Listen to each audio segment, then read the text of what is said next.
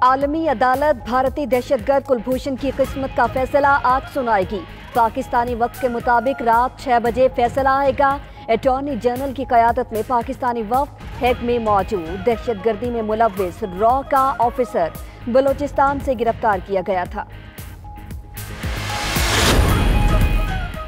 امریکہ کا کرتارپور کوریڈور بننے کا خیر مقدم۔ ترجمان امریکی محکمہ خارجہ مورگن آرٹیگس کا کہنا ہے۔ امریکہ، پاکستان اور بھارت کے درمیان روابط کی ہمیشہ حمایت کرتا ہے۔ دونوں ممالک میں عوامی سطح پر رابطے بڑھانے چاہیے۔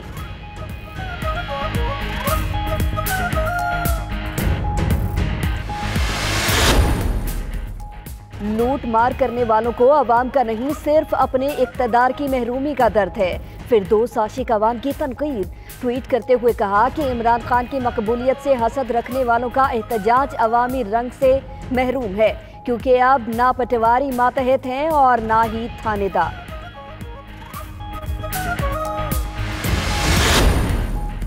حکومت نے فلور میلز ایسوسی ایشن کے مطالبات تسلیم کر لیے، آٹے، میدے اور چوکر پر آئے ڈیوٹی واپس لینے کا اعلان۔ فلور ملز نے آج ہڑتال کی کال واپس لے لی۔ حکومت کی جانب سے chairman F P R Shabbar Zaidi اور جہانگیر ترین نے مذاکرات کیے۔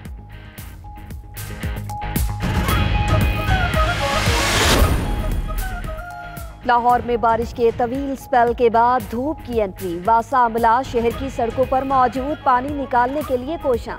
گزشتہ روز کئی مسلسل بارشوں کے باعث چھتیں گرنے کے واقعات میں میاں بیوی اور پانچ بچوں سمیت آٹھ افراد جاں بحق ہوئے۔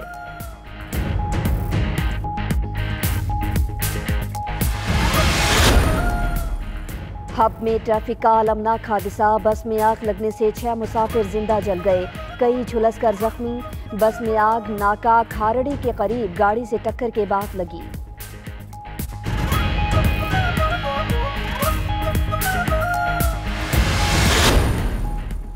اور غیر ملکی نجات، خواتین، ارکان کانگریس سے متعلق نسل پرستانہ بیان۔ امریکی ایوان نمائندگار نے صدر ٹرمپ کے خلاف مذمت قرارداد منظور کر لی۔ سپیکر نینسی پیلوسی کا کہنا ہے۔ امریکی صدر کا بیان شرمناک اور قابل نفرت ہے۔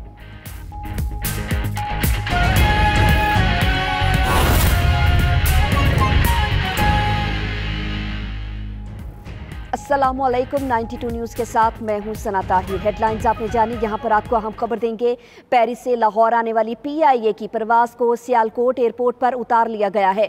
ذرائع کے مطابق لاہور ایئرپورٹ کے قریب پرندوں کی فضا میں اڑان کے باعث پرواز کا رخ موڑا گیا ہے۔ پی آئی اے پرواز سات سو چونتیس میں تین سو بیالیس مسافر موجود ہیں۔ پیرس سے لاہور آنے والی پی آئی اے کی پرواز کو سیالکوٹ ایئرپورٹ پر اچانک اتار لیا گیا۔ ذرائع کا بتانا یہ ہے کہ ایئرپورٹ کے قریب پرندوں کی فضا میں اڑان کے باعث پرواز کا رخ موڑا گیا ہے، جبکہ پی آئی اے پرواز سات سو چونتیس میں تین سو بیالیس مسافر موجود ہیں۔ آپ کو اپڈیٹ کر رہی ہیں، پیرس سے لاہور آنے والی پی آئی اے کی یہ پرواز تھی، جس کو اچانک سیالکوٹ ایئرپورٹ پر اتار لیا گیا۔